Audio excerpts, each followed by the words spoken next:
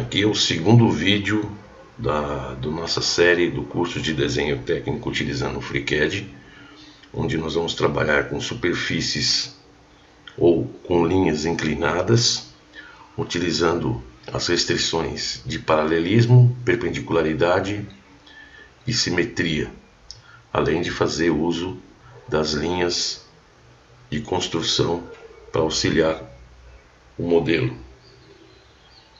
Roda a vinheta.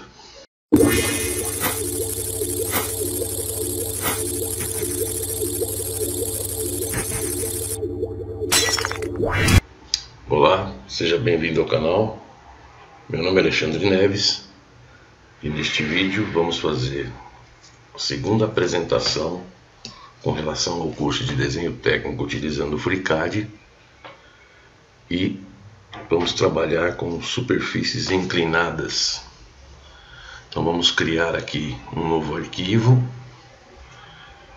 um novo sólido. Vamos aqui na origem escolher o plano XY e dentro do plano XY nós vamos fazer um esboço. Então, criando aqui um esboço, vou fazer um retângulo de 60 por 40. Só que eu vou fazer um retângulo diferente agora. Eu vou usar polilinha. É um outro recurso que ele tem disponível aqui, ó, selecionando exatamente a parte sobre o eixo. Eu posso desenhar as linhas guiadas. E ele já colocou uma restrição aqui, que é a restrição de coincidência. Então está coincidindo um ponto, além disso ele é um, uma linha horizontal. Então aqui nós vamos fazer um outro elemento vertical. Isso aqui depois a gente pode estar retirando de que maneira? Você pode vir aqui, ó, selecionar este ponto, essa restrição, né? Ó, seleciona a restrição, pode deletar. Aqui nós temos o nosso retângulo montado e eu posso fazer o que? Eu posso deslocar a linha porque ele está solto ainda. Nós não colocamos nenhuma restrição para ele. As restrições que nós vamos começar a trabalhar vai ser a partir de agora. Por exemplo, vou pegar uma restrição de simetria. O que é uma restrição de simetria? A distância que eu vou ter do lado esquerdo vai ser a mesma distância do lado direito. Então, para isso, eu seleciono os dois pontos e o eixo vertical e admito uma restrição. Observa que ele colocou aqui que existe uma outra restrição que é redundante. Se eu clicar aqui, ele vai apontar qual é essa restrição. Seria o que? Seria a restrição paralela. E aí a gente pode fazer o que? A gente pode vir e deletar. Ele só deixou a restrição de simetria. Mesma coisa eu vou fazer com a vertical. Selecionar os dois pontos e vou clicar sobre esta linha. Vou admitir outra restrição de simetria. A mesma coisa. Clico aqui e vou deletar a restrição de perpendicularidade. Agora vou colocar as cotas. Aqui eu vou ter 40 milímetros e aqui eu vou ter 60 milímetros. Observa que ele já caracterizou o esboço e enxergou que isso daqui pode gerar um sólido. Então vou fechar meu esboço. Ele está aqui.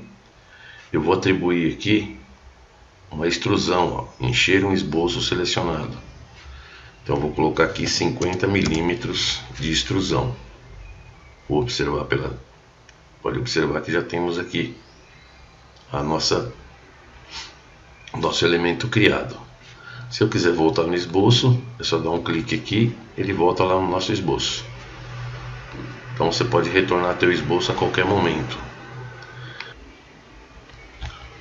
Bom, aqui agora eu vou selecionar essa face, vou criar um esboço nessa face. E aqui nós vamos ter, observa que ela tem os 50 milímetros, né, que nós tínhamos feito de extrusão então eu vou desenhar um retângulo aqui, nessa, ao longo dessa linha. Esse retângulo, eu vou desenhá-lo aqui. A distância horizontal que ele vai ter vai ser de 15 milímetros. Esse comprimento dele aqui é o total, que no caso é 50. Vou pegar essa distância em relação a esse ponto, também vai ser de 15 milímetros. E essa distância em relação a esse ponto vai ser de 30 milímetros que ele já colocou aqui como restrito, então não preciso nem colocar esse valor. Eu ainda tenho um grau de liberdade em relação ao nosso retângulo. Observa que ele está solto aqui, né? Então o que, que eu posso fazer? Eu posso pegar este ponto em relação a este ponto, colocar como zero, porque ele seria colinear. Dou um close para fechar nosso esboço e vou abrir esse elemento nessa direção. Então, aqui vou criar um esboço, uma extrusão, e essa extrusão aí, ela vai ter 25. Então tá feito aqui mais um recorte para esse elemento. Agora eu posso é, escolher uma outra face e essa outra face vai ser essa daqui. Então aqui eu vou fazer um outro esboço. Nesse esboço eu vou desenhar utilizando a polilinha. Vou pegar aqui, fazer uma usando o eixo vertical. Então eu fiz aqui um triângulo. Apesar de eu preciso agora colocar esses dois pontos como sendo que como sendo coincidentes. Observa que eu posso deslocar porque isso aqui está solto ainda, né? Eu não prendi. Vou criar aqui uma uma restrição para eles de simetria. Então, mesmo detalhe, né? Clico aqui, retiro a linha horizontal e nessa condição aqui, para essa linha, vou colocar que ela tem 13 milímetros e a altura para esse elemento vai ser de 22 então aqui vai ter uma altura de 22 não tem problema que ele saiu daqui posso deslocar ó, que ele está restrito. A única coisa que eu vou fazer é criar uma linha de construção aqui em cima e em relação esses dois pontos, né? Esse ponto em relação a esse ponto na vertical eu vou colocar que é zero. Agora o nosso esboço está restrito. Fecho o nosso esboço e vou fazer o que? Um corte estrudado através de todos. Então aqui está feito mais um elemento, que seria esse corte estrudado. Vou selecionar essa outra face, vou criar aqui um outro esboço, e agora nesse esboço eu vou fazer um retângulo. Posso usar aqui a, a construção geométrica para facilitar. Então fiz duas linhas de construção para poder auxiliar na construção do desenho.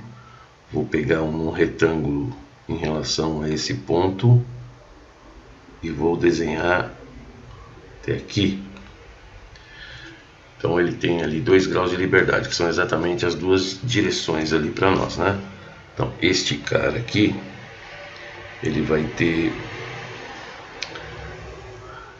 vou colocar aqui a dimensão dele esse cara aqui vai ter 15. E essa altura dele aqui vai ser uma altura de 30.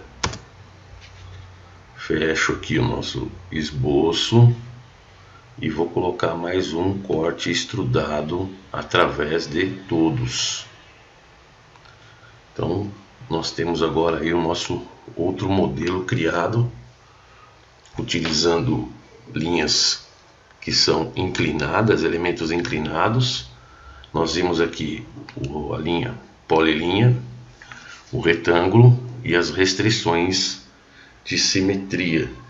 Como fazer uso dessas restrições de simetria. Então, se você ainda não se inscreveu no canal, se inscreva. Se você gostou desse vídeo, deixa o seu like. Se você quer fazer esse curso com os exercícios e obter o certificado que pode ser utilizado para atividades complementares, o link para você poder preencher a pesquisa e depois receber o acesso ao Google Sala de Aula está na descrição desse vídeo. E até o próximo vídeo.